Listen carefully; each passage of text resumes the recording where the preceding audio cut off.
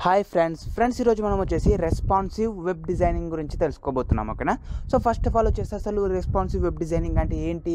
And దీన్ని ఎలా use చేయాలి? ఎందుకు యూస్ చేయాలి? అనే దాని గురించి డీటెయిల్గా తెలుసుకుందాం ఓకేనా సో చూడండి ఫ్రెండ్స్ ఇప్పుడు వచ్చేసి మనము డైరెక్ట్గా హెచ్టిఎంఎల్ని అండ్ సిఎస్ఎస్ని యూజ్ చేసి వెబ్ పేజెస్ని డెవలప్ చేస్తున్నాం కదా?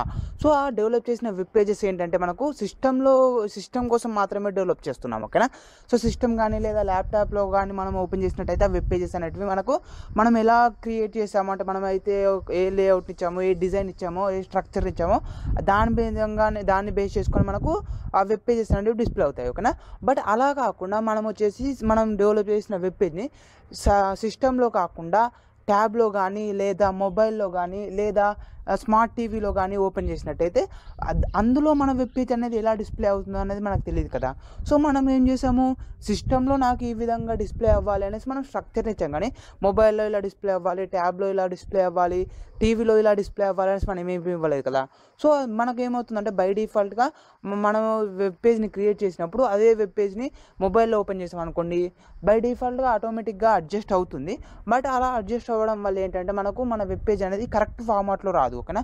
మన వెబ్సైట్లో ఉన్న కంటెంట్ అనేది ఓవర్ఫ్లో అవ్వచ్చు. అండ్ ఇప్పుడు నావిగేషన్ బార్ ఉంటుంది అండ్ మెయిన్ కంటెంట్ ఉంది కదా ఉంటుంది కదా. So navigation bar main content వచ్చేసి ఓవర్ఫ్లో అవుతాయి. అంటే నావిగేషన్ బార్ వచ్చేసి మెయిన్ కంటెంట్లోకి లేదా మెయిన్ కంటెంట్ వచ్చేసి నావిగేషన్ బార్ పైనకి.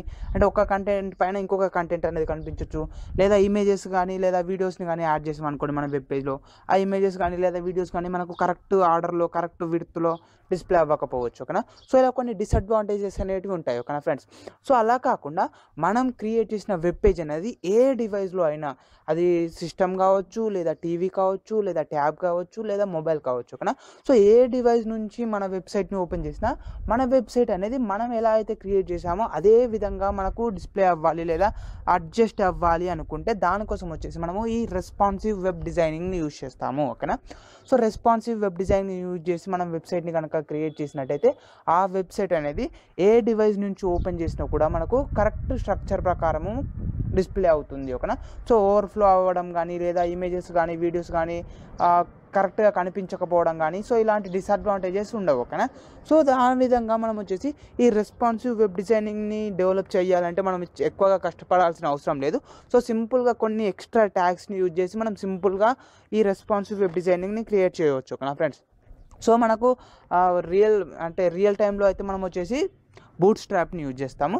సో బూట్ స్ట్రాప్ ఒకవేళ మీకు ఆ లాంగ్వేజ్ గురించి తెలియదు అనుకుంటే మీరు సింపుల్గా ఈ హెచ్టిఎంఎల్ ట్యాగ్స్ని యూజ్ చేసి రెస్పాన్సివ్ వెబ్ డిజైనింగ్ని యూజ్ చే క్రియేట్ చేయవచ్చు. ఓకేనా ఫ్రెండ్స్ సో ఇప్పుడు అది ఎలా యూజ్ చేస్తామో ఏంటనేది నేను ఎక్స్ప్లెయిన్ చేస్తాను. ఓకేనా? సో చూడండి ఫ్రెండ్స్ మనం వచ్చేసి లాస్ట్ క్లాస్లో హెచ్టిఎంఎల్ లేఅవుట్ ద్వారా ఒక బేసిక్ వెబ్ పేజ్ని ఎలా క్రియేట్ చేయాలనేది తెలుసుకున్నాం కదా. సో ఆ వీడియో చూసినట్టయితే ఇప్పుడు నేను చెప్పబోయే వీడియో మీకు ఇంకా ఈజీగా అర్థమవుతుంది. ఓకేనా ఫ్రెండ్స్ సో చూడండి ఇప్పుడు నేను ఏం చేయాలనుకుంటున్నాను హెచ్టిఎంఎల్ని యూజ్ చేసి ఒక రెస్పాన్సివ్ వెబ్ డిజైన్ని క్రియేట్ చేయాలనుకుంటున్నాను. సో దాని యొక్క లేఅవుట్ చూసినట్టయితే నాకు ఇలా ఉంటుంది. సో నాకు వచ్చేసి హెడర్ ఉండాలి అండ్ ఫుటర్ ఉండాలి. అండ్ నెక్స్ట్ వచ్చేసి లెఫ్ట్ సైడ్లో ఒక నావిగేషన్ బార్ ఉండాలి అండ్ రైట్ సైడ్లో ఒక నావిగేషన్ బార్ ఉండాలి. అండ్ ఆ లెఫ్ట్ సైడ్ నావిగేషన్ బార్కి రైట్ సైడ్ నావిగేషన్ బార్కి మధ్యలో నాకు మెయిన్ కంటెంట్ అనేది ఉండాలి ఓకేనా సో ఈ విధంగా నేను ఒక వెబ్సైట్ని క్రియేట్ చేయాలనుకుంటున్నాను. అండ్ ఆ వెబ్సైట్ అనేది నాకు రెస్పాన్సివ్ వెబ్ డిజై వెబ్సైట్ ఓకేనా అంటే మొబైల్ మొబైల్లో ఓపెన్ ఓపెన్ చేసిన ట్యాబ్లో ఓపెన్ చేసిన టీవీలో ఓపెన్ చేసిన సిస్టంలో ఓపెన్ చేసిన నాకు ఆ వెబ్సైట్ అనేది కరెక్ట్గా డిస్ప్లే అవ్వాలి ఓకేనా? అంటే ఓ- దాంట్లో ఉన్న కంటెంట్ అనేది ఓవర్ఫ్లో అవ్వకుండా సో ఈ విధంగా మనకు ఏ డివైస్లో ఓపెన్ చేసినా కూడా మనకు ఆ వెబ్సైట్ అనేది క్లియర్గా కనిపించేలాగా మనం వచ్చేసి రెస్పాన్సివ్ వెబ్ డిజైన్ని యూజ్ చేసి వెబ్సైట్ని డెవలప్ చేస్తున్నాం ఓకేనా ఫ్రెండ్స్? సో చూడండి ఫ్రెండ్స్ ఇక్కడ నేను ఏం చేశానంటే ఫస్ట్ ఆఫ్ ఆల్ వచ్చేసి ఒక బేసిక్ వెబ్సైట్ని క్రియేట్ చేశాను. సో దాంట్లో చూసుకున్నట్టయితే మనకు మెయిన్ సింటాక్స్ ఉంటుంది కదా అది యాడ్ చేసేసాను. డాక్స్ టైప్ హెచ్టిఎంఎల్ అనేసి హెచ్ హెచ్టిఎంఎల్ ట్యాగ్ని హెడ్ ట్యాగ్ని బాడీ ట్యాగ్ని టైటిల్ ట్యాగ్ని యాడ్ చేసేసాను ఓకేనా సో ఇప్పుడు దీంట్లో వచ్చేసి మనం ఏం చేస్తున్నాము? ఫస్ట్ ఆఫ్ ఆల్ వచ్చేసి ఒక వెబ్సైట్ని క్రియేట్ చేస్తున్నాం కదా. సో ఆ వెబ్సైట్ వచ్చేసి ఎలాంటి వెబ్సైట్ అంటే నాకు హెడర్ ఉండాలి ఫుటర్ ఉండాలి అండ్ టూ నావిగేషన్ బార్స్ ఉండాలి. ఆ టూ నావిగేషన్ బార్స్ వచ్చేసి ఒకటి లెఫ్ట్ సైడ్ ఒకటి రైట్ సైడ్ ఉండాలి. అండ్ ఈ నావిగేషన్ బార్ మధ్యలో వచ్చేసి నాకు మెయిన్ కంటెంట్ అనేది ఉండాలి ఓకేనా సో ఆ విధంగా నేను ఇప్పుడు హెచ్టిఎంఎల్ వెబ్ పేజ్ని క్రియేట్ చేస్తున్నాను ఓకేనా ఫ్రెండ్స్ సో మనం వచ్చేసి హెచ్ హెడర్ని క్రియేట్ చేయడానికి దానికోసం వచ్చేసి హెడర్ ట్యాగ్ యూజ్ చేస్తాము. సో ఇక్కడ చూడండి నేను వచ్చేసి హెడర్ ట్యాగ్ యూజ్ చేస్తున్నాను ఓకేనా less than symbol header and next వచ్చేసి greater symbol open tag and అలాగే మనకు క్లోజింగ్ ట్యాగ్ కూడా ఉంటుంది ఓకేనా? సో మనకి ఏంటి హెడ్ హెడర్ ట్యాగ్ వచ్చేసింది. సో హెడర్ ట్యాగ్లో వచ్చేసి మనకు ఏదైనా ఒక హెడ్డింగ్ ఇవ్వాలి. సో హెడ్డింగ్ ఇవ్వడానికి వచ్చేసి H one H one tag నుంచి హెచ్ సిక్స్ ట్యాగ్స్ వరకు యూజ్ చేసుకోవచ్చు. సో ఇక్కడ నేను ఏం చేస్తున్నాను? సింపుల్గా హెచ్ వన్ ట్యాగ్ యూజ్ చేస్తున్నాను ఓకేనా? సో చూడండి less than symbol H one and greater than symbol next వచ్చేసి open tag and closing tag so దీంట్లో వచ్చేసి మనము హెడర్ని ఇవ్వాలి. సో హెడ్డర్ నేను వచ్చేసి ఏమి ఇస్తున్నాను అంటే సింపుల్గా మన ఛానల్ నేమ్ ఇచ్చేస్తున్నాను ప్రోగ్రామింగ్ ట్యుటోరియల్స్ ఇన్ తెలుగు ఓకేనా సో చూడండి ఫ్రెండ్స్ ఇక్కడ ఏం చేశానంటే సింపుల్గా వచ్చేసి మన వెబ్ పేజ్కి హెడర్ని ఇవ్వాలి. సో హెడర్ని ఇవ్వడానికి వచ్చేసి హెడర్ ట్యాగ్ని యూజ్ చేస్తాం కాబట్టి హెడర్ ట్యాగ్ని యూజ్ చేసి హెచ్ వన్ ద్వారా నేను ప్రోగ్రామింగ్ ట్యూటోరియల్స్ ఇన్ తెలుగు అని ఇచ్చేసాను. అది మన వెబ్ పేజ్కి హెడర్ అవుతుంది. సో నెక్స్ట్ ఏం కావాలి? మనకు ఫుటర్ కూడా కావాలి. సో ఫుటర్ కావాలి కాబట్టి నేను వచ్చేసి దానికోసం ఫుటర్ ట్యాగ్ని యూజ్ చేస్తాము. సో చూడండి నేను వచ్చేసి ఫుటర్ ట్యాగ్ని యూజ్ చేస్తున్నాను. Less than symbol and next వచ్చేసి ఫుటర్ అండ్ నెక్స్ట్ వచ్చేసి greater than symbol. So opening tag ఉంది కాబట్టి అలాగే క్లోజింగ్ ట్యాగ్ కూడా ఉంటుంది మనకు. అండ్ ఇది దీని మధ్యలో వచ్చేసి మనము ఫుటర్లో ఏ కంటెంట్ అయితే డిస్ప్లే ఇవ్వాలనుకుంటున్నామో దాన్ని ఇవ్వచ్చు. సో ఇక్కడ నేను ఏమి ఇస్తున్నాను సింపుల్గా వచ్చేసి కాపీరేట్ సింబల్ ఇచ్చేసి కొత్త అభిషేక్ అని ఇవ్వాలి అనుకుంటున్నాను. సో దానికోసం వచ్చేసి యాంపర్సెంట్ సిఓపివై అని ఇచ్చేసాను. సో మనం వచ్చేసి కాపీరేట్ సింబల్ని ప్రింట్ చేయాలనుకుంటే యాంపర్సెంట్ సిఓపివై అని ఇచ్చేస్తాం కదా. సో యాంపర్సెంట్ సిఓపివై అని ఇచ్చేసి సెమికోన్ ఇచ్చేసాను. అండ్ నెక్స్ట్ వచ్చేసి కాపీ కొత్త అభిషేక్ అని ఇచ్చేసాను ఓకేనా ఫ్రెండ్స్ సో ఇప్పుడు మనం ఏం చేసామంటే సింపుల్గా మన వెబ్ పేజ్కి సంబంధించి ఒక హెడర్ని ఇచ్చేసాము అండ్ నెక్స్ట్ వచ్చేసి ఒక ఫూటర్ని కూడా ఇచ్చేసాము. సో ఇప్పుడు ఒకసారి నీకు అవుట్పుట్ చూపిస్తాను. మాకు వచ్చేసి ఆ హెడర్ ఫూటర్ అనేటివి యాడ్ అయ్యలేదు అనేసి ఒక సో చూడండి ఫైల్ని సేవ్ చేస్తున్నాను. అండ్ ఫైల్ యొక్క నేమ్ వచ్చేసి నేను సింపుల్గా రెస్పాన్సివ్ అని చేస్తున్నాను. Responsive dot HTML and next వచ్చి ఫైల్ని సేవ్ చేశాను. అండ్ నెక్స్ట్ డెస్క్టాప్ పైలకి వెళ్ళేసి ఫైల్ని ఓపెన్ చేస్తున్నాను. సో చూడండి ఫ్రెండ్స్ మనం ఫైల్ని బ్రౌజర్లో ఓపెన్ చేయగానే మనకు వచ్చేసి ఇలా డిస్ప్లే అవుతుంది. సో మనం వచ్చేసి హెడర్ని యూజ్ చేసి ప్రోగ్రామింగ్ ట్యూటోరియల్స్ అని తెలుగు అని యాడ్ చేసాం కాబట్టి అయితే డిస్ప్లే అయింది. అండ్ ఫుటర్ని యూజ్ చేసి కొత్త అభిషేక్ అని చేసాం కాబట్టి the rate of sorry copyright symbol వచ్చేసి కొత్త అభిషేక్ అనేది డిస్ప్లే అయిపోయింది. ఓకేనా సో ఇప్పుడు మనకి నెక్స్ట్ ఏం కావాలి? త్రీ ట్యాగ్స్ కావాలి ఓకేనా? సో రెండు వచ్చేసి నావిగేషన్ బార్స్ ఆ నావిగేషన్ బార్స్ వచ్చేసి ఒకటి లెఫ్ట్ సైడ్లో ఉండాలి ఒకటి రైట్ సైడ్లో ఉండాలి. అండ్ మిడిల్లో వచ్చేసి మనకు మెయిన్ కంటెంట్ ఉండాలి ఓకేనా? సో ఈ విధంగా ఇప్పుడు మనము డెవలప్ చేయాలి కదా. సో నేను దానికోసం ఏం చేస్తున్నాను ఫస్ట్ ఆఫ్ ఆల్ వచ్చేసి ఒక డివ్ ట్యాగ్ని క్రియేట్ చేస్తున్నాను. సో ఆ డివ్ ట్యాగ్లో వచ్చేసి నేను త్రీ ట్యాగ్స్ని యూజ్ చేస్తాను. సో రెండు వచ్చేసి నావిగేషన్ ట్యాగ్స్ అండ్ ఇంకోటి వచ్చేసి మెయిన్ కంటెంట్ కోసం ఓకేనా? సో ఫస్ట్ ఆఫ్ ఆల్ వచ్చేసి నేను ఒక డివ్ ట్యాగ్ని యూజ్ చేస్తున్నాను. సో చూడండి less than symbol and next వచ్చేసి div greater than symbol so opening tag ఉంది కాబట్టి అలాగే మనకు క్లోజింగ్ ట్యాగ్ కూడా ఉంది. సో డివ్ ట్యాగ్ ఇచ్చేసాను. సో ఈ డివ్ ట్యాగ్లో వచ్చేసి మనం త్రీ ట్యాగ్స్ యూజ్ చేస్తున్నాను ఓకేనా? సో రెండు వచ్చేసి నావిగేషన్ ట్యాగ్స్ అండ్ ఒకటి వచ్చేసి మెయిన్ ట్యాగ్ ఓకేనా? సో చూడండి ఫస్ట్ ఆఫ్ ఆల్ వచ్చేసి నావిగేషన్ ట్యాగ్ని క్రియేట్ చేస్తున్నాను. Less than symbol nav and greater than symbol and open tag కాబట్టి మనకు అలాగే క్లోజింగ్ ట్యాగ్ కూడా ఉంటుంది. అండ్ నెక్స్ట్ వచ్చేసి ఈ నావిగేషన్ బార్లో మనం ఏం చేయాలి? లింక్స్ని యాడ్ చేయాలి కదా. సో నావిగేషన్ బార్ అంటేనే మనకు లింక్స్ ఓకేనా? సో లింక్స్ని యాడ్ చేయడానికి మనం వచ్చేసి యాంకర్ ట్యాగ్ ఒక హెల్ప్ తీసుకుంటాము. సో దానికన్నా ముందు నేను ఏం చేస్తున్నాను అంటే అన్ఆర్డర్డ్ లిస్ట్ని యూజ్ చేసి లిస్ట్ ఐటమ్స్ ద్వారా ఈ లింక్స్ని క్రియేట్ చేయాలనుకుంటున్నాను. సో చూడండి నెక్స్ట్ వచ్చేసి less than symbol UL and greater than symbol and opening tag కాబట్టి మనకు అలాగే క్లోజింగ్ ట్యాగ్ కూడా ఉంటుంది. సో దీంట్లో వచ్చేసి లిస్ట్ ఐటమ్స్ ద్వారా నేను లింక్స్ని క్రియేట్ చేస్తున్నాను ఓకేనా? సో చూడండి less than symbol L LI and greater than symbol and next వచ్చేసి మనము లింక్ని క్రియేట్ చేయడానికి యాంకర్ ట్యాగ్ని యూజ్ చేస్తాం. So less than symbol A and next వచ్చేసి href equals to and double కోడ్స్లో వచ్చేసి నేను హ్యాష్ అని ఇచ్చేస్తున్నాను. ఓకేనా సో మీరు వచ్చేసి మీ వెబ్సైట్కి సంబంధించిన లింక్ని ఇవ్వాలి. సో ఇక్కడ నేను వచ్చేసి ఏం చేస్తున్నాను అంటే సింపుల్గా వచ్చేసి హ్యాష్ సింబల్ యూజ్ చేస్తున్నాను. సో హ్యాష్ సింబల్ వచ్చేసి ఏంటంటే నేను ఇంకా సపరేట్ ఏం వెబ్ పేజెస్ని క్రియేట్ చేయలేదు కాబట్టి నేను సింపుల్గా హ్యాష్ అని ఇచ్చేస్తున్నాను. ఓకేనా సో నెక్స్ట్ వచ్చేసి మీకు ఆ లింక్ పైన ఏ కంటెంట్ అయితే డిస్ప్లే అవ్వాలనుకుంటున్నారో మీరు ఆ కంటెంట్ని ఇవ్వాలి. సో ఇక్కడ నేను ఏం చేస్తున్నాను సింపుల్ వచ్చేసి హెచ్టిఎంఎల్ ఇంట్రడక్షన్ అని ఇచ్చేస్తున్నాను అక్కడ. సో హెచ్టిఎంఎల్ ఇంట్రడక్షన్ అని ఇచ్చేసాను అండ్ నెక్స్ట్ వచ్చేసి యాంకర్ ట్యాగ్ని క్లోజ్ చేసేసాను అండ్ నెక్స్ట్ వచ్చేసి లిస్ట్ ఐటెంని కూడా క్లోజ్ చేసేసాను అక్కడ. సో ఇదే విధంగా మనకు వచ్చేసి ఇంకా మీకు ఎన్ని లిస్ట్ మీకు ఎన్ని లింక్స్ కావాలనుకుంటే మీరు అన్ని లింక్స్ క్రియేట్ చేసుకోవచ్చు. సో ఇక్కడ నేను ఏం చేస్తున్నాను సింపుల్గా వచ్చేసి కాపీ పేస్ట్ చేసుకుంటాను సో చూడండి ఫ్రెండ్స్ నేను వచ్చేసి సింపుల్గా కాపీ పేస్ట్ చేసుకున్నాను. సో దాని ద్వారా వచ్చేసి నేను డిఫరెంట్ డిఫరెంట్ కంటెంట్ని చేస్తున్నాను ఓకేనా? సో ఫస్ట్ వన్ వచ్చేసి హెచ్టిఎంఎల్ ఇంట్రడక్షన్ ఇచ్చేసాను. అండ్ నెక్స్ట్ వచ్చేసి హెచ్టిఎంఎల్ సింటాక్స్ అని ఇచ్చేసాను. హెచ్టిఎంఎల్ బేసిక్ ట్యాగ్స్ అని ఇచ్చేసాను. HTML paragraphs HTML headings so ఈ విధంగా నేను వచ్చేసి కొన్ని లింక్స్ని క్రియేట్ చేసేసాను ఓకేనా ఫ్రెండ్స్? సో ఈ విధంగా మీకు ఎన్ని లింక్స్ కావాలనుకుంటే మీరు అన్ని లింక్స్ని క్రియేట్ చేసుకోవచ్చు. సో చూడండి ఇప్పుడు వచ్చేసి మనము లింక్స్ని యాడ్ చేసాం కదా. సో ఒకసారి మీకు అవుట్పుట్ని చూపిస్తాను. ఇలా డిస్ప్లే అవుతుంది ఏంటి అనేసి. సో చూడండి ఒకసారి నేను ఫైల్ని సేవ్ చేశాను. నెక్స్ట్ బ్రౌజర్కి వెళ్ళేసి ఫైల్ని రిఫ్రెష్ చేయగానే. సో చూడండి ఫ్రెండ్స్ మనకు వచ్చేసి హెడర్ ట్యాగ్ కనిపిస్తుంది and header tag and next వచ్చేసి ఫుటర్ ట్యాగ్ కనిపిస్తుంది. సో హెడర్ ట్యాగ్కి ఫుటర్ ట్యాగ్కి మధ్యలో వచ్చేసి మనకు మనం యాడ్ చేసిన లింక్స్ ఉన్నాయి కదా. సో లింక్స్ అనేవి మనకు కనిపిస్తున్నాయి ఓకేనా? సో ఇప్పుడు నెక్స్ట్ ఏం కావాలి మనకు? ఒక నావిగేషన్ బార్ వచ్చేసింది. ఆ నావిగేషన్ బార్ వచ్చేసి లెఫ్ట్ సైడ్ కోసం. సో ఇంకేం కావాలి మనకు? ఒక మెయిన్ కంటెంట్ కావాలి. అండ్ నెక్స్ట్ వచ్చేసి రైట్ సైడ్ కోసం ఇంకొక నావిగేషన్ బార్ కావాలి. సో ఇక్కడ నేను ఏం చేస్తున్నాను చూడండి మనకు వచ్చేసి నావిగేషన్ బార్ ఉంది కదా. సో టోటల్ నావిగేషన్ బార్ నేను కాపీ చేసుకుంటున్నాను. ఓకేనా? సో చూడండి టోటల్ నావిగేషన్ బార్ నేను కాపీ చేసేసుకున్నాను. అండ్ నెక్స్ట్ వచ్చేసి సేమ్ పేస్ట్ చేసేసాను ఓకేనా? సో కాపీ చేసేసుకొని పేస్ట్ చేసుకున్నాను. సో ఇప్పుడు ఏమైంది అంటే మనకు టోటల్గా టూ నావిగేషన్ బార్స్ అయ్యాయి. సో టూ నావిగేషన్ బార్స్ వచ్చేసి మనకు కంటెంట్ ఉన్నాయి కదా లింక్స్ యొక్క కంటెంట్ నేను సింపుల్గా చేంజ్ చేస్తున్నాను ఓకేనా? సో ఫస్ట్ ఆఫ్ ఆల్ వచ్చేసి మనకి ఏముంది? HTML introduction HTML syntax HTML paragraphs basic tags so ఈ విధంగా ఉంది కదా. సో నెక్స్ట్ వచ్చేసి నేను ఇంకొక నావిగేషన్ బార్లో ఏం చేస్తున్నాను అంటే HTML tutorials CSS tutorials Java tutorials PHP tutorials so ఈ విధంగా నేను వచ్చేసి లింక్స్ని యాడ్ చేశాను. ఓకేనా ఫ్రెండ్స్? సో నేను ఏం చేస్తున్నా అంటే సింపుల్గా వచ్చేసి ఒక వెబ్సైట్ని క్రియేట్ చేస్తున్నాను. ఆ వెబ్సైట్లో వచ్చేసి లెఫ్ట్ సైడ్లో ఒక నావిగేషన్ బార్ ఉండాలి. సో లెఫ్ట్ సైడ్లో ఉన్న నావిగేషన్ బార్ వచ్చేసి ఏంటంటే మనం ప్రజెంట్ ఏ ట్యూటోరియల్ గురించి అయితే నేర్చుకుంటున్నామో ఆ ట్యూటోరియల్కి సంబంధించిన సబ్ టాపిక్స్ ఉంటాయి కదా. సో దానికి సంబంధించి లింక్స్ ఇచ్చేసాను. సో ఇది హెచ్టిఎంఎల్ ట్యూటోరియల్ కాబట్టి HTML introduction HTML syntax HTML paragraphs HTML headings so ఈ విధంగా ఇచ్చేసాను. అండ్ నెక్స్ట్ వచ్చేసి రైట్ సైడ్లో వచ్చేసి ఆ వెబ్సైట్లో ఇంకా వేరే వేరే ట్యూటోరియల్స్ ఉంటాయి కదా. సో ఆ ట్యూటోరియల్స్కి సంబంధించిన లింక్స్ నేను రైట్ సైడ్లో ఇచ్చేసాను. ఓకేనా?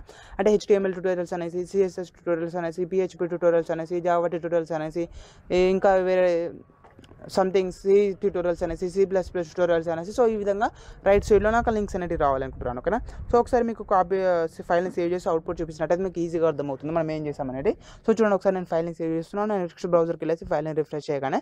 సో చూడండి ఫ్రెండ్స్ మనకు వచ్చేసి హెడర్ ట్యాగ్ ఉంది హెడర్ ఉంది ఫుటర్ ఉంది అండ్ నెక్స్ట్ వచ్చేసి టూ నావిగేషన్స్ బార్ ఉన్నాయి. సో ఫస్ట్ నావిగేషన్ బార్ వచ్చేసి టోటల్గా హెచ్టీఎంఎల్కి సంబంధించింది అండ్ సెకండ్ నావిగేషన్ బార్ వచ్చేసి సో డిఫరెంట్ డిఫరెంట్ ట్యూటోరియల్స్ ఏమి ఉన్నాయో వాటికి సంబంధించి ఓకేనా సో ఇప్పుడు మనకు వచ్చేసి నావిగేషన్స్ బార్ కూడా వచ్చేసాయి. సో టోటల్గా నెక్స్ట్ వచ్చేసి మనకు ఓన్లీ మెయిన్ కంటెంట్ మిగిలిపోయింది. సో మెయిన్ కంటెంట్ని క్రియేట్ చేయడానికి మనం వచ్చేసి డిఫరెంట్ డిఫరెంట్ ట్యాగ్స్ని యూజ్ చేసుకోవచ్చు. సో మెయిన్ ట్యాగ్ని యూజ్ చేసుకోవచ్చు సెక్షన్ ట్యాగ్ని యూజ్ చేసుకోవచ్చు ఆర్టికల్ ట్యాగ్ని యూజ్ చేసుకోవచ్చు. సో మనం లాస్ట్ క్లాస్లో వచ్చేసి త్రీ డిఫరెంట్ డిఫరెంట్ ట్యాగ్స్ని యూజ్ చేసుకోవడం మనము కంటెంట్ని ఎలా యాడ్ చేయాలనేది తెలుసుకున్నాం కదా. సో ఇప్పుడు నేను ఏం చేస్తున్నాను ఫస్ట్ ఆఫ్ ఆల్ వచ్చేసి మెయిన్ ట్యాగ్ని యూజ్ చేస్తున్నాను ఓకేనా సో మనకు వచ్చేసి ఫస్ట్ టైం కావాలి హెడర్ కావాలి. సో హెడర్ కావాలి సో హెడర్ తర్వాత వచ్చేసి మనకు లెఫ్ట్ నావిగేషన్ బార్ కావాలి. సో లెఫ్ట్ నావిగేషన్ తర్వాత వచ్చేసి మనకు మెయిన్ కంటెంట్ కావాలి కదా. సో మనకు ఫస్ట్ నావిగేషన్ బార్ ఉంది కదా. సో ఫస్ట్ నావిగేషన్ బార్ తర్వాత నేను వచ్చేసి మెయిన్ ట్యాగ్ని క్రియేట్ చేస్తున్నాను అక్కడ.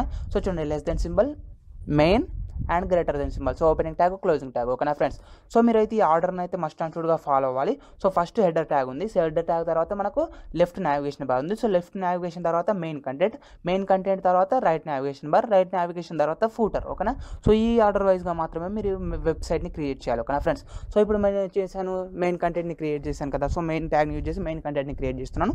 సో దాంట్లోకి ఏం చేస్తున్నాడు? సింపుల్గా వచ్చేసి నేను కొంత కంటెంట్ని యాడ్ చేయాలనుకుంటున్నాను. సో దాంట్లో వచ్చేసి నేను ఏం చేస్తున్నాను సింపుల్గా హెచ్ వన్ ట్యాగ్ని యూజ్ చేస్తున్నాను. సో చూడండి. మెయిన్ ట్యాగ్లో వచ్చేసి హెచ్ వన్ ట్యాగ్ని యూజ్ చేసి నేను హెచ్టిఎంఎల్ ఇంట్రడక్షన్ అని చేస్తున్నాను ఓకేనా? So less than symbol H one greater than symbol and next వచ్చేసి ఓపెన్ ట్యాగ్ కాబట్టి అలాగే క్లోజింగ్ ట్యాగ్ హెచ్టిఎంఎల్ ఇంట్రడక్షన్ అని చేశాను ఓకేనా? హెచ్టిఎంఎల్ ఇంట్రడక్షన్ అండ్ నెక్స్ట్ వచ్చేసి నేను దానిలో కొంత కంటెంట్ కూడా యాడ్ చేయాలనుకుంటున్నాను. సో కంటెంట్ కోసం వచ్చేసి నేను పేరాగ్రాఫ్ ట్యాగ్ని యూజ్ చేస్తున్నాను. సో మీరు పేరాగ్రాఫ్ ట్యాగ్ని యూజ్ చేసుకోవచ్చు లేదా లిస్ట్ ఐటమ్స్ని యూజ్ చేసుకుంటే పాయింట్ వైజ్గా మీరు కంటెంట్ని యాడ్ చేసుకోవచ్చు. సో మీకు ఏ విధంగా ఇమేజెస్ కావాలనుకుంటే ఇమేజెస్ యాడ్ చేసుకోవచ్చు వీడియోస్ కావాలనుకుంటే వీడియోస్ యాడ్ చేసుకోవచ్చు ఓకేనా? సో మీరు ఏ కంటెంట్ కావాలనుకుంటే మీరు ఆ కంటెంట్ని యాడ్ చేసుకోవచ్చు. సో సింపుల్గా నేను ఇక్కడ వచ్చేసి ఏం చేస్తున్నాను అంటే పేరాగ్రాఫ్ ట్యాగ్ని యూజ్ చేసి పేరాగ్రాఫ్ ట్యాగ్ ద్వారా నేను కొంత కంటెంట్ని యాడ్ చేస్తున్నాను ఓకేనా? సో చూడండి పేరాగ్రాఫ్ ట్యాగ్ని యూజ్ చేశాను. ఆ పేరాగ్రాఫ్ ట్యాగ్లో వచ్చేసి నేను కొంత కంటెంట్ని ఆల్రెడీ కాపీ చేసుకున్నాను. ఆ కంటెంట్ని ఇక్కడ పేస్ట్ చేసేస్తున్నాను ఓకేనా ఫ్రెండ్స్ సో కంటెంట్ని పేస్ట్ చేసేసాను. సో ఇప్పుడు ఒకసారి మీకు అవుట్పుట్ని చూపిస్తాను. మీకు ఏ విధంగా డిస్ప్లే అవుతుంది ఏంటి అనేసి ఓకేనా? సో చూడండి ఒకసారి ఫైల్ని సేవ్ చేశాను. నెక్స్ట్ బ్రౌజర్కి వెళ్ళేసి ఫైల్ని రిఫ్రెష్ చేయగానే మనకు వచ్చేసి హెడర్ ఉంది ఫుటర్ ఉంది. అండ్ నెక్స్ట్ వచ్చేసి లెఫ్ట్ నావిగేషన్ బార్ ఉంది రైట్ నావిగేషన్ బార్ ఉంది. అండ్ నెక్స్ట్ వచ్చేసి మెయిన్ కంటెంట్ కూడా ఉంది ఓకేనా? బట్ ఇప్పుడు వచ్చేసి మనకు ఒక ఆర్డర్ వైజ్ లేవు. సో ఆర్డర్ వైజ్ మనకు ఇంతకుముందు లేఅవుట్ అయితే డిస్ చూపించాను కదా. సో ఆ లేఅవుట్లో ఉన్న విధంగా మనకు వచ్చేసి ఈ వెబ్సైట్ అనేది డిస్ప్లే అవ్వాలనుకుంటే దానికోసం వచ్చేసి మనం సిఎస్ఎస్ స్టైల్స్ని యూజ్ చేస్తాము. సో సిఎస్ఎస్ స్టైల్స్ని యూజ్ చేసి మనం ఈ వెబ్ పేజ్కి ఒక లుకింగ్ అనేది ఒక డిజైన్ అనేది ఒక స్ట్రక్చర్ అనేది ఇస్తాము ఓకేనా సో ఇప్పుడు సిఎస్ఎస్ సిఎస్ఎస్ని యూజ్ చేసి మనం వచ్చేసి రెస్పాన్సివ్ వెబ్ డిజైన్ని ఎలా క్రియేట్ చేస్తాము అనేది నేను చూపిస్తాను ఓకేనా ఫ్రెండ్స్ సో మనం లాస్ట్ క్లాస్లో కూడా ఒక వెబ్సైట్ని క్రియేట్ చేసాం అంటే ఒక బేసిక్ వెబ్ పేజ్ అనేది ఎలా ఉంటుంది అనేసి క్రియేట్ చేసాం ఓకేనా? బట్ అది వచ్చేసి ఏంటంటే సిస్టంలో మాత్రమే కరెక్ట్గా డిస్ప్లే అవుతుంది ఓకేనా? బట్ అలా కాకుండా మనకు వచ్చేసి మొబైల్లో అయినా లేదా సిస్టంలో అయినా లేదా ట్యాబ్లో అయినా లేదా టీవీలో అయినా సో ఓకేనా? సో ఏ డివైస్ నుంచి ఓపెన్ చేసినా మనకు ఆ వెబ్ పేజ్ అనేది కరెక్ట్ ఫార్మాట్లో డిస్ప్లే అవ్వాలి అంటే దానికోసం వచ్చేసి ఈ రెస్పాన్సివ్ వెబ్ డిజైన్ని యూజ్ చేస్తాము ఓకేనా? సో ఇప్పుడు వచ్చేసి మనం సిఎస్ఎస్ని యూజ్ చేసి ఆ రెస్పాన్సివ్ వెబ్ డిజైన్ని ఎలా క్రియేట్ చేస్తాం అనేది నేను ఇప్పుడు ఎక్స్ప్లెయిన్ చేయాలి అనుకుంటున్నాను. ఓకేనా ఫ్రెండ్స్ సో చూడండి ఫ్రెండ్స్ మనం వచ్చేసి నేను వచ్చేసి ఇక్కడ ఇంటర్నల్ సిఎస్ఎస్ని యూజ్ చేస్తున్నాను. మీరు కావాలనుకుంటే మీరు ఎక్స్టర్నల్ సిఎస్ఎస్ని యూజ్ చేసి సేమ్ స్టైల్ని మీరు ఒకటి కంటే ఎక్కువ వెబ్ పేజెస్కి అప్లై చేసుకోవచ్చు. సో ఇక్కడ నేను సింగిల్ వెబ్ పేజ్ని క్రియేట్ చేస్తున్నాను కాబట్టి సింగిల్ డైరెక్ట్గా ఇంటర్నల్ సిఎస్ఎస్ని యూజ్ చేస్తున్నాను. ఓకేనా? సో మనకు వచ్చేసి హెడ్ ట్యాగ్ ఉంది కదా. సో హెడ్ ట్యాగ్లో వచ్చేసి నేను స్టైల్ ట్యాగ్ని యూజ్ చేస్తున్నాను. సో చూడండి less than symbol style and greater than symbol and next వచ్చేసి ఓపెన్ ట్యాగ్ ఉంది కాబట్టి మనకు అలాగే క్లోజింగ్ ట్యాగ్ కూడా ఉంటుంది. ఓకేనా? సో చూడండి ఫ్రెండ్స్ ఇప్పుడు నేను వచ్చేసి ఫస్ట్ స్టే సిఎస్ఎస్ స్టైల్ గురించి చెప్పడం కన్నా ముందు ఇంకొక ట్యాగ్ గురించి చెప్తున్నాను. సో ఈ ట్యాగ్ని మనం వచ్చేసి ఇప్పటివరకు యూజ్ చేయలేదు హెచ్టిఎంఎల్లో ఫస్ట్ టైం యూజ్ చేస్తున్నాం ఓకేనా? సో ఈ ట్యాగ్ దేనికోసం యూజ్ అవుతుంది అంటే మనకు రెస్పాన్సివ్ వెబ్ డిజైనింగ్ కోసం యూజ్ అవుతుంది ఈ ట్యాగ్ వచ్చేసి ఓకేనా? సో ఆ ట్యాగ్ ఏంటి అని చూసినట్టయితే మెటా ట్యాగ్ ఓకేనా? సో చూడండి మనకు వచ్చేసి మెటా ట్యాగ్ కాబట్టి మనం వచ్చేసి less than symbol greater than symbol and angular brackets మధ్యలో మనం వచ్చేసి మెటా అని చేసినట్టయితే మెగా మెటా ట్యాగ్ అయిపోతుంది. సో ఈ మెటా ట్యాగ్ని యూజ్ చేసి మనం రెస్పాన్సివ్ వెబ్ డిజైన్ని క్రియేట్ చేస్తున్నాము. సో దాని ద్వారా మనం ఏం చేస్తున్నాం అంటే మా డివైస్ యొక్క విత్ ఎంత ఉంది అండ్ డివైస్ యొక్క ఇనిషియల్ స్కేలింగ్ ఎలా ఉండాలి అనేది మనం ఇస్తున్నాం ఓకేనా? సో ఒకసారి మీకు ఆ ట్యాగ్ని యాడ్ చేసి చూపించాక మీకు ఎక్స్ప్లెయిన్ చేస్తే మీకు ఈజీగా అర్థమైపోతుంది. ఓకేనా? సో చూడండి లెస్ దెన్ సింబల్ సో ఇది వచ్చేసి ఏంటి మనకు మెటా ట్యాగ్ కదా. సో మెటా ట్యాగ్ కాబట్టి నేను ఈ స్టైల్ ట్యాగ్ ఉంది కదా. సో స్టైల్ ట్యాగ్కి అవుట్ సైడ్లో రాస్తున్నాను ఓకేనా? So header head head tag ఉంటుంది కదా మనకు. హెడ్ ట్యాగ్ లోపల టైటిల్ ట్యాగ్ ఉంటుంది. సో టైటిల్ ట్యాగ్ కింద మనం వచ్చేసి ఈ మెటా ట్యాగ్ని యాడ్ చేయాలి ఓకేనా? సో టైటిల్ ట్యాగ్ కింద యాడ్ చేసిన టైటిల్ ట్యాగ్ పైన యాడ్ చేసినా ఏం కాదు. సో టోటల్గా అయితే హెడ్ ట్యాగ్ ఉంది కదా. సో హెడ్ ట్యాగ్ లోపల మనము ఈ మెటా ట్యాగ్ని యాడ్ చేయాలి ఓకేనా? సో ఇది ఒకటి మీరు మెయిన్గా గుర్తుంచుకోండి. హెడ్ ట్యాగ్ లోపల మెటా ట్యాగ్ని యాడ్ చేయాలి ఓకేనా ఫ్రెండ్స్ సో చూడండి less than symbol meta and next వచ్చేసి గ్రేటర్ దెన్ సింబల్ ఇచ్చేసాను. సో దీనికి వచ్చేసి మనం కొన్ని యాట్రిబ్యూట్స్ని అప్లై చేస్తాము. సో యాట్రిబ్యూట్స్ ఏంటి అని చూసినట్టయితే ఫస్ట్ వన్ వచ్చేసి నేమ్ అనే యాట్రిబ్యూట్ సో చూడండి ఇక్కడ వచ్చేసి నేను యాట్రిబ్యూట్ని అప్లై చేస్తున్నాను. Name equals to and double కోడ్స్లో వచ్చేసి మనము వాల్యూ ఇచ్చేసి ఒకే వాల్యూ ఉంటుంది. ఆ సింగిల్ వాల్యూ ఏంటి అని చూసినట్టయితే వ్యూ పోర్ట్ ఓకేనా సో ఆ వాల్యూ వచ్చేసి వ్యూ పోర్ట్ సో నేను వచ్చేసి మెటా ట్యాగ్ క్రియేట్ చేశాను. So attribute name equals to viewport అని ఇచ్చేస్తున్నాను ఓకేనా so name equals to double కోడ్స్లో వచ్చేసి వ్యూ పోర్ట్ అని ఇచ్చేసాను అండ్ నెక్స్ట్ uh, వచ్చేసి ఇంకొక కంటెంట్ కూడా ఇంకొక యాట్రిబ్యూట్ని యూజ్ చేయాలి. సో ఇంకొక యాట్రిబ్యూట్ ఏంటి అని చూసినట్టయితే మనకు కంటెంట్ అనే యాట్రిబ్యూట్ ఓకేనా సో చూడండి content equals to and double quotes తీసుకున్నాను. సో ఈ దీంట్లో వచ్చేసి మనం టూ వాల్యూస్ని పాస్ చేయాల్సి ఉంటుంది. ఆ టూ వాల్యూస్ ఏంటి అని చూసినట్టయితే ఫస్ట్ వన్ వచ్చేసి ఆ డివైస్ యొక్క విడ్త్ అండ్ డివైస్ యొక్క ఇనిషియల్ స్కేలింగ్ ఓకేనా సో ఇప్పుడు మనకు వచ్చేసి మొబైల్లో ఓపెన్ చేసాం అనుకోండి ఫర్ ఎగ్జాంపుల్ ఒక వెబ్సైట్ని.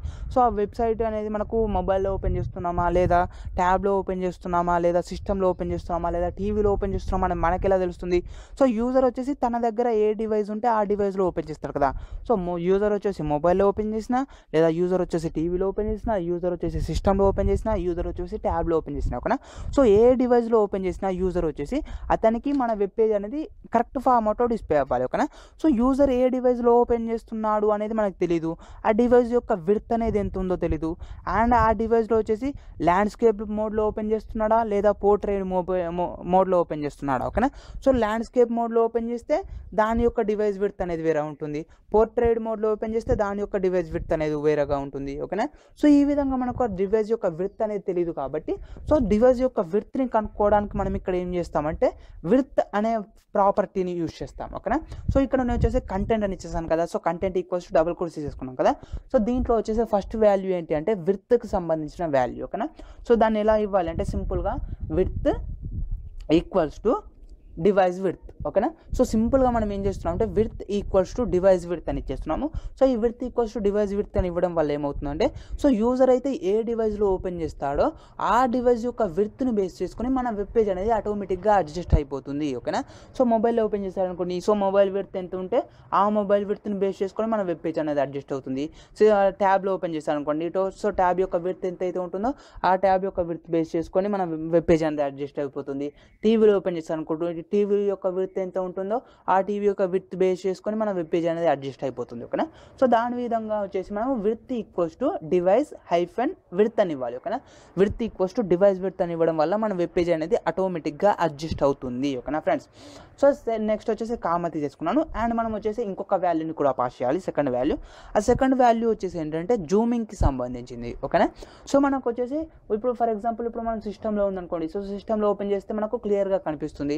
బట్ అలా కాకుండా అతను వచ్చేసి మొబైల్ డివైస్లో ఓపెన్ చేసుకున్నాడు అనుకోండి.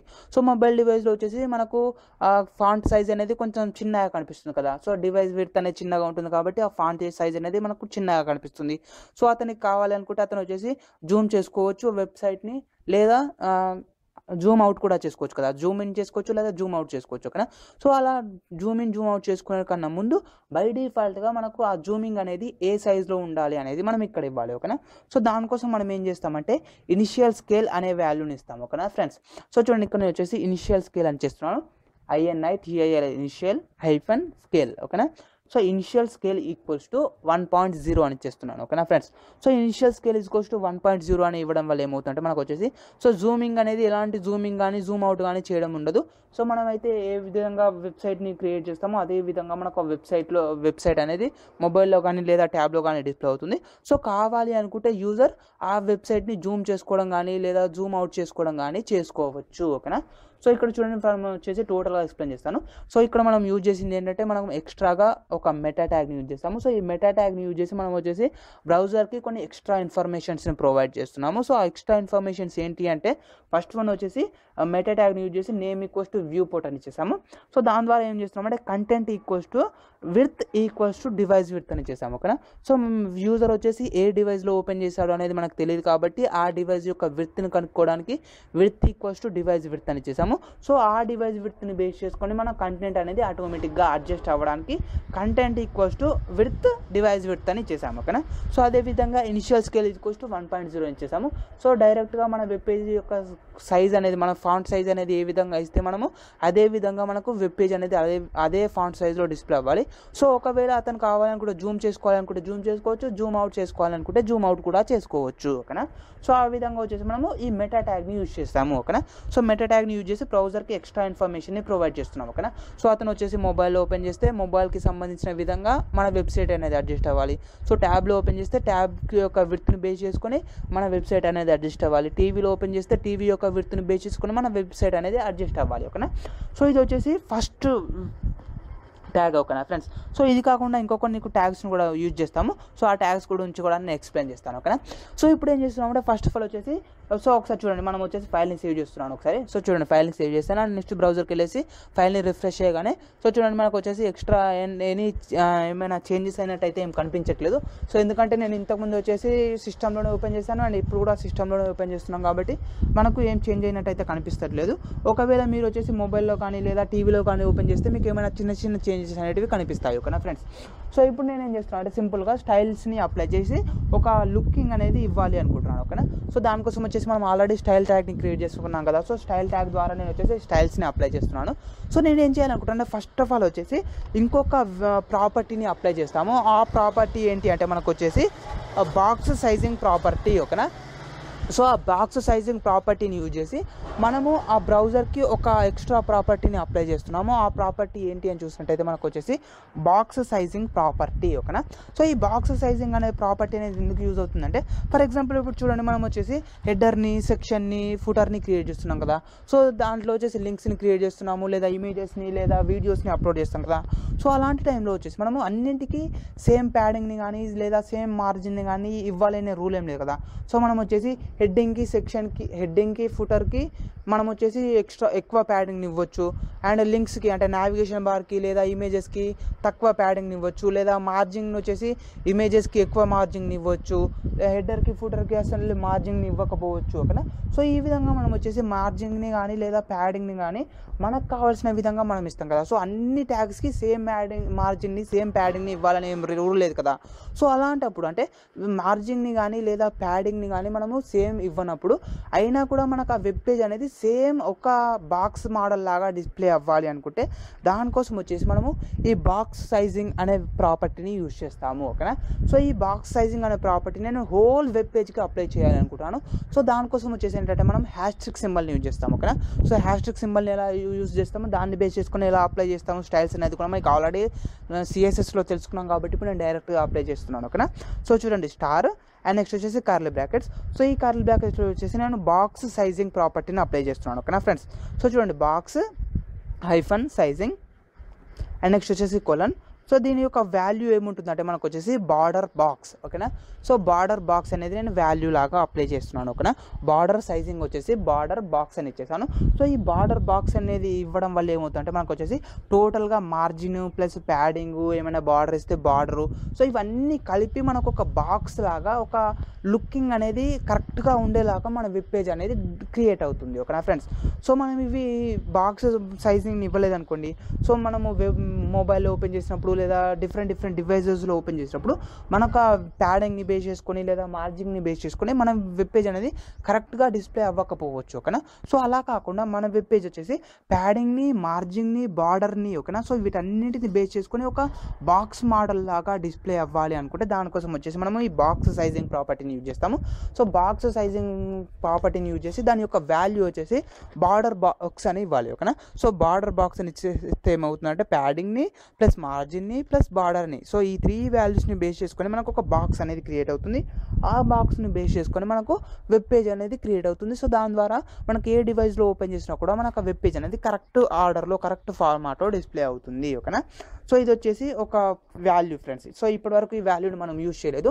సో ఈ వాల్యూ వచ్చేసి రెస్పాన్సివ్ వెబ్ డిజైనింగ్ కోసం మాత్రమే యూజ్ చేస్తున్నాం ఓకేనా సో ఈ వాల్యూని యూజ్ చేయకపోయినా మీరు వెబ్ పేజ్ని క్రియేట్ చేయవచ్చు. బట్ uh, వేరే వేరే డివైజెస్లో ఓపెన్ చేసినప్పుడు మనకు వేరే వేరే లాగా మన వెబ్సైట్ అనేది డిస్ప్లే అవుతుంది.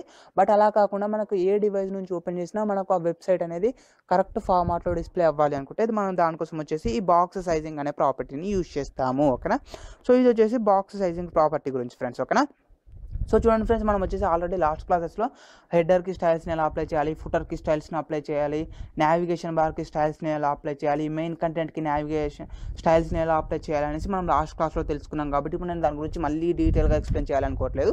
సో ఎందుకంటే ఆల్రెడీ వీడియో యొక్క లెంత్ అనేది ఇంక్రీజ్ అవుతుంది. సో మళ్ళీ వాటన్నిటి గురించి ఎక్స్ప్లెయిన్ చేస్తే ఇంకొక ట్వంటీ మినిట్స్ ఇంకొక థర్టీ మినిట్స్ అవుతుంది. సో మళ్ళీ వీడియో యొక్క లెంత్ ఎక్కువ అవుతే మీరు చూస్తారో లేదో అనేసి నేను ఏం చేస్తున్నాను అంటే డైరెక్ట్గా స్టైల్స్ అన్నింటినీ అప్లై చేసేస్తున్నాను ఓకేనా? సో వీటి స్టైల్స్ అన్ని అన్నింటి గురించి మీకు తెలియకపోతే లాస్ట్ వీడియో చూడండి.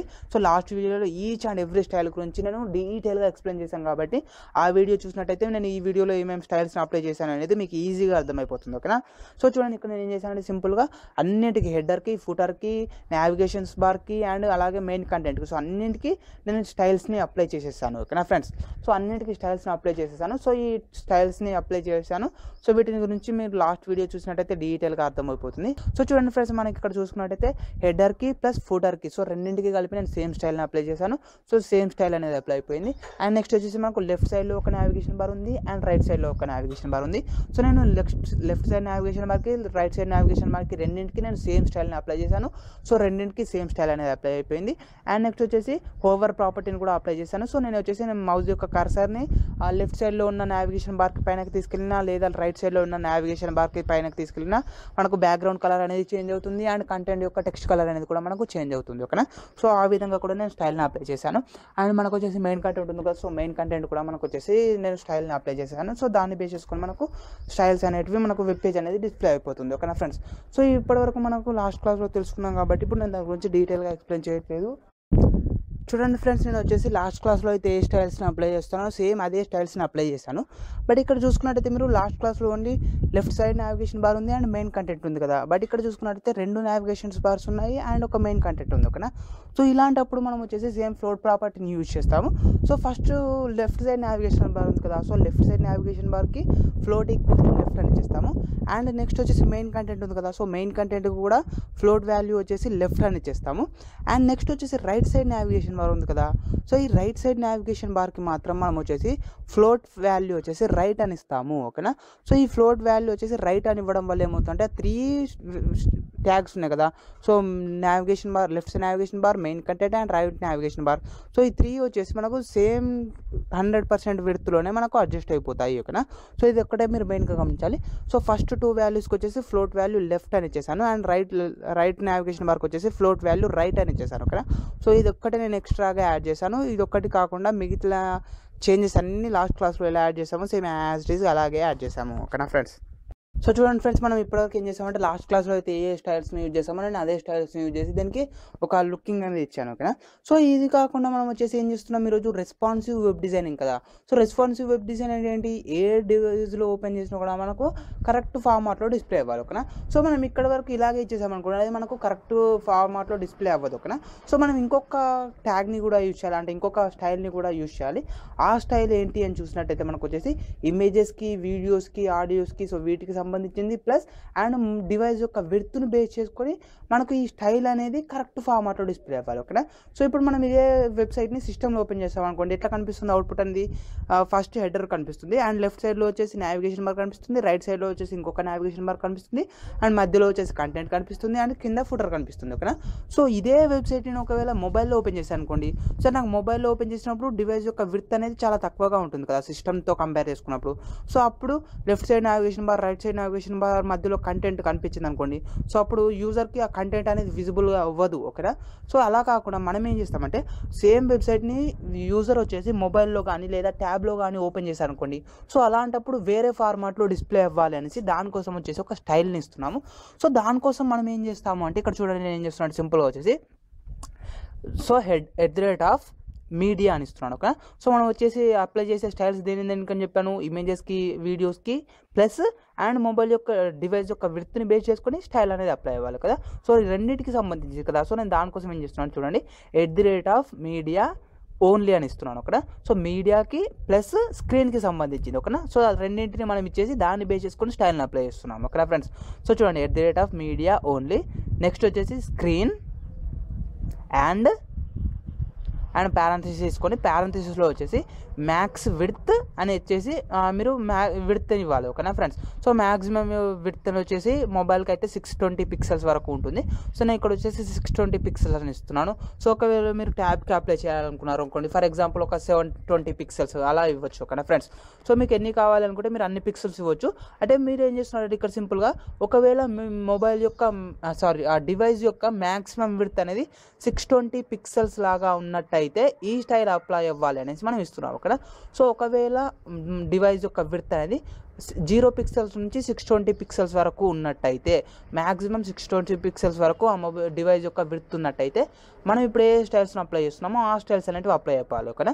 ఒకవేళ ఆ డివైస్ యొక్క విడుత్ అనేది సిక్స్ ట్వంటీ పిక్సెల్స్ కంటే ఎక్కువగా ఉన్నదనుకోండి సో మనం ఇంతకుముందు అప్లై చేసిన స్టైల్ ఉంది కదా అంటే ఇంతకుముందు అవుట్పుట్ చూసాం కదా సో ఆ విధంగా మనకు డిస్ప్లే అవుతుంది బ్రౌజర్లో వెబ్ పేజ్ అనేది. బట్ ఒకవేళ ఆ డివైస్ యొక్క విడ్త్ అనేది సిక్స్ ట్వంటీ పిక్సెల్స్ కన్నా బిలోలో ఉందనుకోండి సో అప్పుడు మనం ఇప్పుడు ఏ స్టైల్స్ అయితే అప్లై చేస్తున్నామో ఆ స్టైల్స్ అనేవి అప్లై అవ్వాలి. ఓకేనా? సో ఇప్పుడు ఏం చేద్దామంటే సింపుల్గా at the rate of media only screen and పారంథసిస్లో వచ్చేసి max width six twenty pixels అని ఇచ్చేసాము నెక్స్ట్ వచ్చేసి కర్లీ బ్రాకెట్స్ చేసుకున్నాము సో ఈ కర్లీ బ్రాకెట్స్లో వచ్చేసి మీరు ఏ స్టైల్ కావాలనుకుంటే మీరు ఆ స్టైల్ని అప్లై చేసుకోవచ్చు. ఇక్కడ నేను ఏం చేస్తున్నాను చూడండి సింపుల్గా. మనకు హెడర్ ఉంది కదా సో హెడ్డర్కు ఫుటర్కి ఏం స్టైల్ని అప్లై చేయలేము. సో ఎందుకంటే హెడర్ ఫుటర్ యాజ్ ఇట్ ఈస్గా అవి అవి అడ్జస్ట్ అయిపోతాయి. సో మనకు మధ్యలో ఏముంది? లెఫ్ట్ సైడ్ నావిగేషన్ బార్ ఉంది రైట్ సైడ్ నావిగేషన్ బార్ ఉంది అండ్ మధ్యలో కంటెంట్ ఉంది కదా. సో ఈ మూడు ట్యాగ్స్ ఓకేనా? అంటే నావిగేషన్ బార్స్ రెండు ప్లస్ మెయిన్ కంటెంట్. సో ఈ మూడింటిని మనం అడ్జస్ట్ చేయాలి ఓకేనా? సో అవి సేమ్ ఇదే విధంగా మనకు మొబైల్ డివైస్లో కనిపిస్తే విజిబుల్కి యూజర్కి విజిబుల్ అవ్వవు ఓకేనా? సో వీటిని మనం అడ్జస్ట్ అడ్జస్ట్ చేస్తున్నాం ఓకేనా?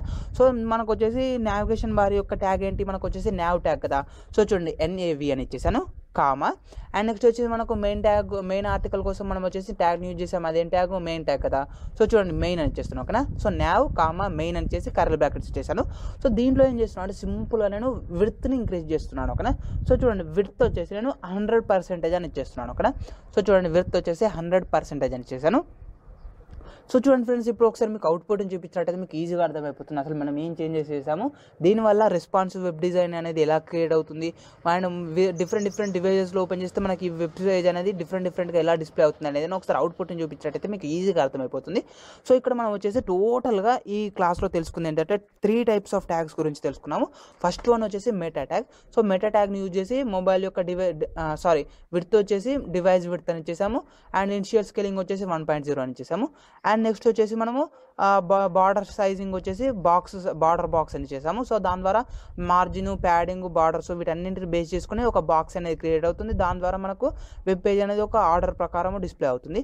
అండ్ నెక్స్ట్ వచ్చేసి ఇప్పుడు మనం లాస్ట్గా యూజ్ చేసింది ఏంటంటే media query so at the rate of media only and screen వచ్చేసి మ్యాక్స్ డివైస్ యొక్క విడ్త్ వచ్చేసి సిక్స్ ట్వంటీ పిక్సెల్స్ కన్నా తక్కువగా ఉన్నట్టయితే సో ఈ స్టైల్ అనేది అప్లై అయిపోవాలని సో ఒక స్టైల్ని అప్లై చేసాము ఓకేనా?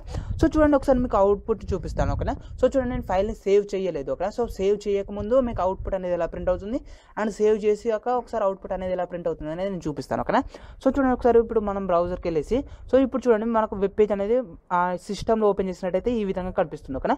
సో ఇప్పుడు ఏం చేస్తున్నా అంటే నేను ఈ బ్రౌజర్ని మినిమైజ్ చేస్తున్నాను ఓకేనా? సో చూడండి ఒకసారి మినిమైజ్ చేసినట్టయితే సో ఇప్పుడు చూడండి మినిమైజ్ చేసిన కొద్ది కూడా మనకు ఆ వెబ్ పేజ్ యొక్క కంటెంట్ అనేది ఆటోమేటిక్గా అడ్జస్ట్ అవుతుంది.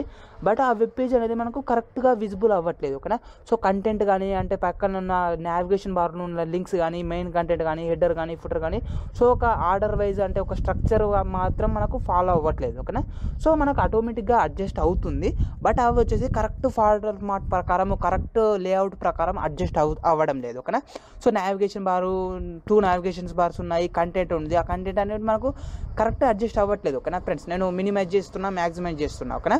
సో అలా కాకుండా మనం ఇప్పుడు ఏం చేస్తామంటే సింపుల్గా మీడియా క్వరీ అని ఇచ్చేసి మ్యాక్స్ విత్ అనేసి సిక్స్ ట్వంటీ పిక్సెల్స్ అని చేసాం కదా. సో ఇప్పుడు ఒకసారి ఏమవుతుంది అనేది చూపిస్తాను ఓకేనా? సో చూడండి ఒకసారి నేను ఫైల్ని సేవ్ చేశాను. అండ్ నెక్స్ట్ బ్రౌజర్కి వెళ్ళేసి ఫైల్ని రిఫ్రెష్ చేశాను ఓకేనా? సో ఇప్పుడు చూడండి నేను వచ్చేసి ఒకసారి ఫైల్ని సారీ బ్రౌజర్ని మినిమైజ్ చేస్తున్నాను.